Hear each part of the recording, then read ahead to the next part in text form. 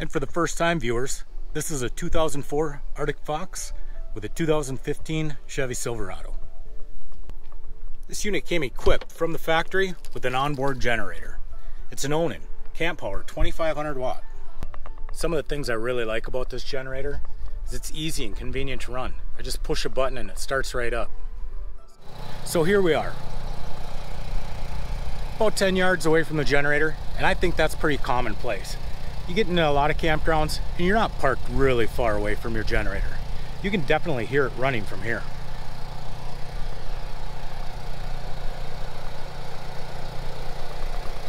This generator has 132 hours on it. That's not many for a 17 year old generator. Big reason for that? It's just too noisy. Even if I pull into a parking lot and I want to run it while I'm having lunch so I can have my air conditioner on, everybody is going to know that I'm inside that camper. If people are out trying to enjoy a day, park, this is just way too loud. 10 yards away from the generator while it's running, we're sitting at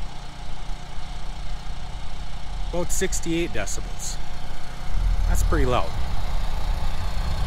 To get an idea of the ambient noise here in the park, just sitting right about 42 decibels.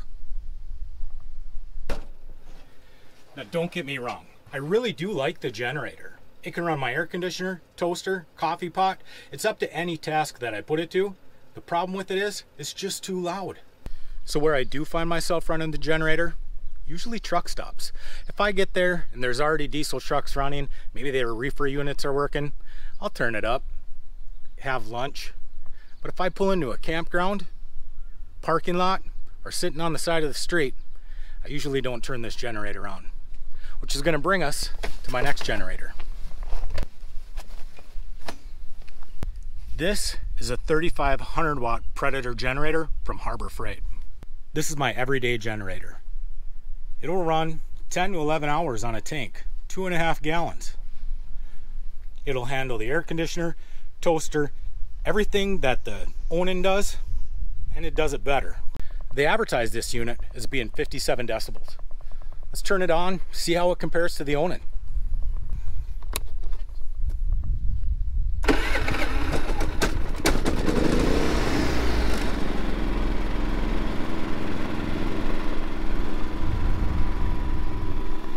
So 10 paces, 30 yards, same as the Onan. Where are we sitting now?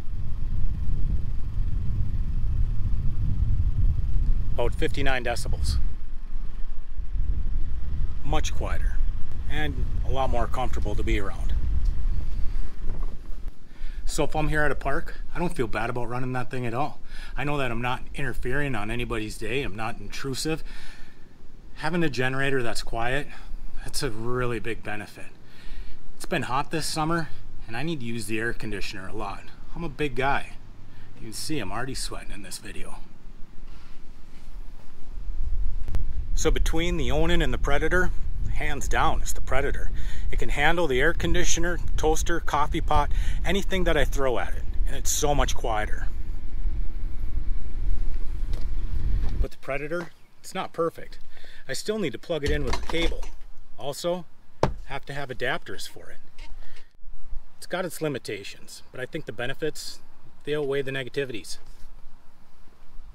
Another pretty big disadvantage, I gotta carry this thing on front basket. I could put it in the back of the truck, but I already carry my e-bike back there, and I, I don't wanna smell the gas. So I run this basket.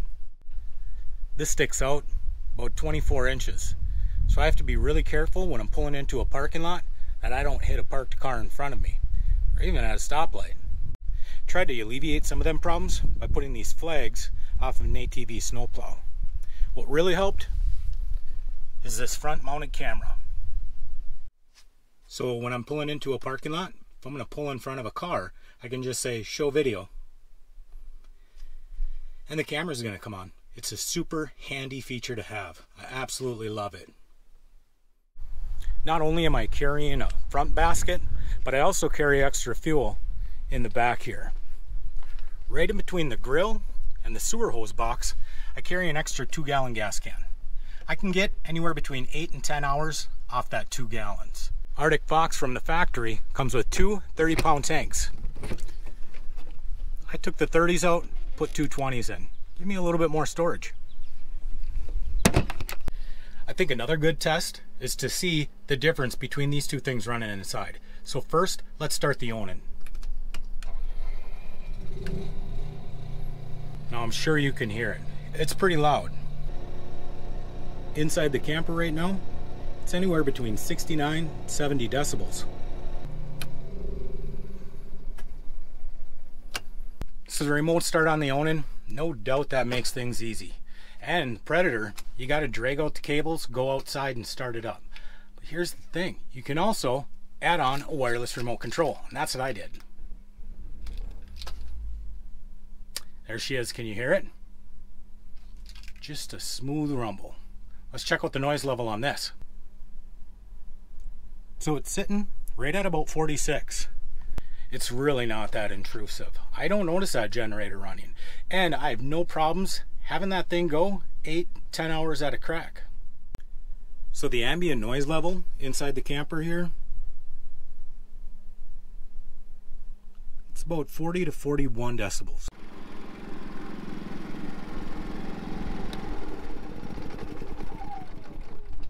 So the generator of choice for me it's going to be the Predator. I've owned a Honda 2000 watt in the past. It was nice. The Honda can power the air conditioner, but you have to turn all your other loads off.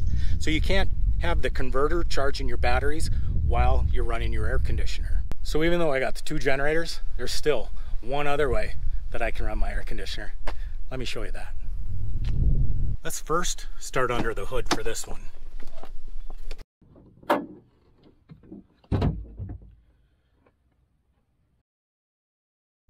So let's talk about the 3000 watt inverter in the back of the camper. That inverter's powered by this solenoid right here. I ran number two wire from the batteries all the way back to the camper and it connects with an Anderson plug. This solenoid right here is controlled by this relay powered by my headlights. So why do I have powered off my headlights? Well, Chevy's decided to make the alternator as efficient as possible. It won't put out max power all the time. There's a couple of conditions where it will. One of those is with the headlights. You can hear the solenoid click. So by hooking it up to the headlights, I'm ensuring that my alternator is putting out the most power it can. I installed the inverter right underneath the sink. Let me show you. So I wish I could tell you what brand inverter it was, but I don't remember. I bought it a couple of years ago off Facebook Marketplace. What I do know is it's a 3000 watt inverter with about a 4000 watt spike. It was also important to me that I found an inverter that had a remote on off switch. Let me show you why. I hope to never have to get back down in there to do any work on it. So I mounted this switch right here. The inverter plugs into shore power, and that's how I get 120 volts. Switch is right here.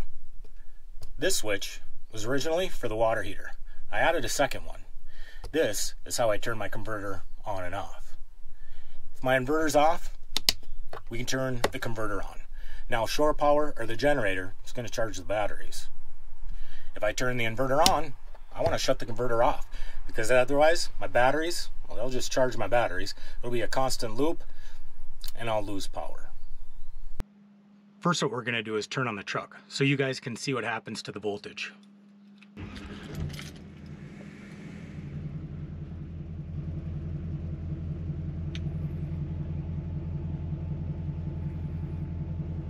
What I'm going to do is put you guys underneath the sink, pointing at the inverter, so you can see the wattage draw when I turn the air conditioner on. You guys can see right now the inverter, it's at zero watts. Nothing's pulling from it.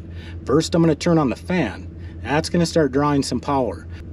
Once the battery and alternator is used to the draw, I'm going to turn the compressor on. You guys are going to see a pretty significant spike at that time.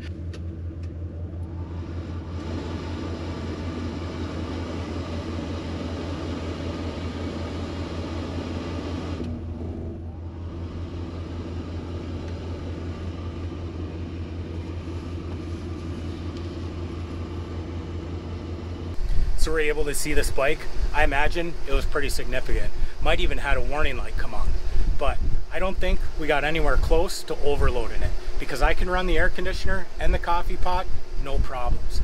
I also leave this running long enough that the compressor cycles kicks on and off. I've never had an issue with it. To show you how cold it's actually getting, let's take a look at that. So I'm gonna use this temperature gauge, point it up through the AC. We'll see how cold this unit's getting.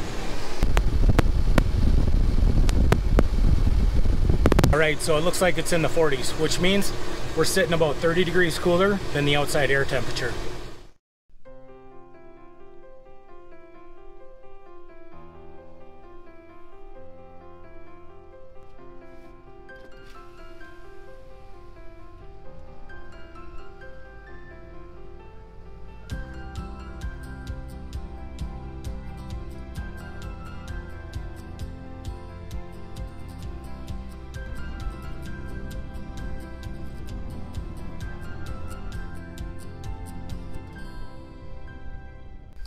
So I don't come to campgrounds like this just because I don't like the noise.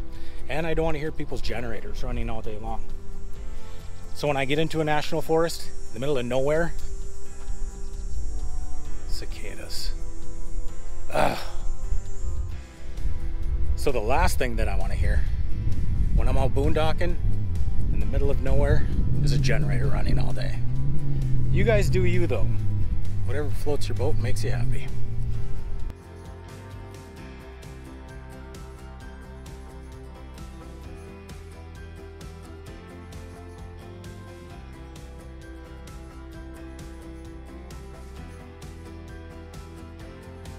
One thing I do want to mention is I'm not a professional or an expert in any of this stuff. I learned trial and error, and I've wrecked a lot of stuff along the way. So before you guys get in, start doing anything with your wiring, do a little research first.